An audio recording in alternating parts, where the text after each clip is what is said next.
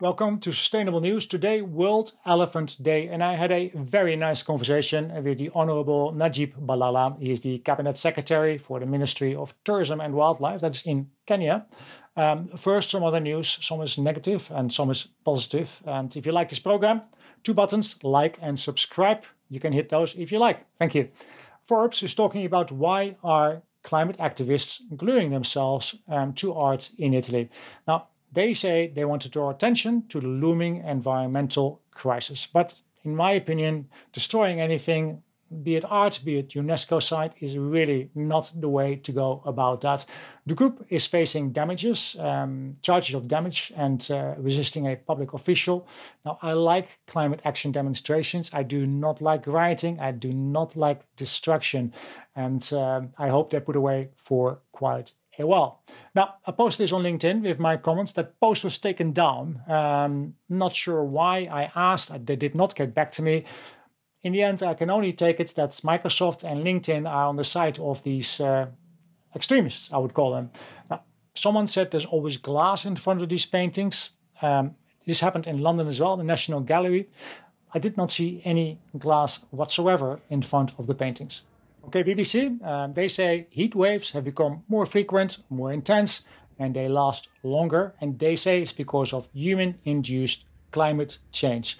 So much that workers in Iraq they got a day off because temperatures they passed 50 Celsius. 50 Celsius, 122 Fahrenheit. I had problems breathing when it was 40 Celsius here in the UK. Um, let's go to some positive news from the same channel. Great Barrier Reef sees a record coral cover, but still it is highly vulnerable. Coral has recovered from storms, from bleaching events to record levels across much of Australia's Great Barrier Reef, and I think it's absolutely fantastic news. Reuters is saying that new coral reef restoration technology aims to reverse climate change damage, and that would be the reef off the coast of the Caribbean nation Antigua and Barbuda, and the project's name is Ocean Shot. Okay, then, World Elephant Day, that is today, and there was an article in a Nation Africa. It was titled uh, Climate Change Killing More Elephants Than Poachers, says Tourism CS Balala.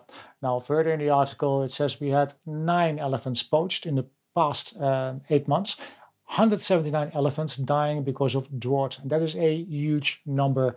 And the time is ripe to discuss climate change. So I'm very grateful uh, to speak with Honorable Najib Balala of the uh, Ministry of Tourism and Wildlife in Kenya and asked him about exactly this.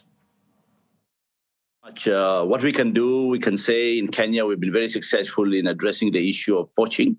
Uh, it's not easy, it's tough, it's not gone yet. Uh, we are still finding challenges. But the investment the government has put forward in anti-poaching programs, and also the hard work we have gone between China and Europe in closing the so the, the markets, uh, because without demand there'll be no supply. Uh, so the market, the closure of markets was very important. Uh, so successful of China and the UK and now Europe, I think it's been uh, highly appreciated because the demand now is less, but also the efforts of our rangers that have been on on on their toes, particularly when it comes to poaching. Uh, so that's the good news we have.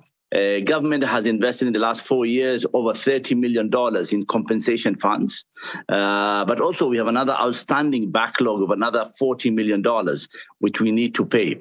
And government on their own cannot be able to address this challenge. But this is a continuous uh, issue. Animals leave their habitat, they go out to farm, they destroy the crops, they kill people. These things are unpredictable, and we need to have resources into that. And I'm calling to the world to establish a human wildlife uh, fund so that we can be able to address these issues promptly rather of delay them and then we lose the goodwill of communities around national parks and protected areas. So that goodwill is very important. The second one is climate change. Uh, again, climate change, we cannot resolve it overnight. The long drought from 2021 till today, again, it has affected our habitat and ecosystems. We have seen, that's why we have seen animals moving out from protected areas to to, to, to, to settlements where people are. And that's why human wildlife conflict has increased. But more important thing is that the huge animals, the iconic animals like elephants, Again, we have seen in Tsavo National Parks, which is over 2 million hectares, and it's a huge park, the largest park in, in, in Africa. Uh, again, we have lost uh, in the last uh, uh eight months or almost a year over 100 elephants inside the park. And then the others outside the park we have lost. Uh, so poaching is tamed because of two things. One, efforts are successful, but also markets are shut. Uh, again, uh, death of elephants ha- is on the rise, but there's no rain, uh, so there's no water. I've been flying to Tsavo National Park of late, but it's not just about Tsavo. It's the northern part of Kenya where almost uh, 1.5 million uh, livestock have died because of drought. Again, it's more important we have to address the issue of climate change as a priority and address the issue of, again, human wildlife conflict and how do we compensate uh, humans uh, when they get attacked because we don't want to lose the goodwill of the communities around conservation. Okay, I quote poaching in Kenya has been reduced to a single digit in the last eight months. And I think that is truly amazing. Well, uh, we have uh, we have we have invested heavily in anti-poaching programs, and those anti-poaching programs using technology. That's a key thing now. Now we monitor. We have elephants with collars. We have again uh, lions with collars. Uh, but more important thing, new technology is important to address the issue of surveillance, but also anti-poaching program. So technology will be key for the future. Okay, I quote, it is important to conserve at least 30% of the planet's land and waters um, by 2030, as we are facing a huge population in Africa, and therefore we need to balance conservation, economic development, and community interest. Furthermore, I quote that for conservation to succeed, it is critical to put people at the center of conservation. I understand that the population of Kenya is growing, even though that growth itself has been decreasing. This uh, comes from the World Bank. Now, people, however, they need to live somewhere and they need food. Is that a conflict? And if that is a conflict, how is the government going to work around that?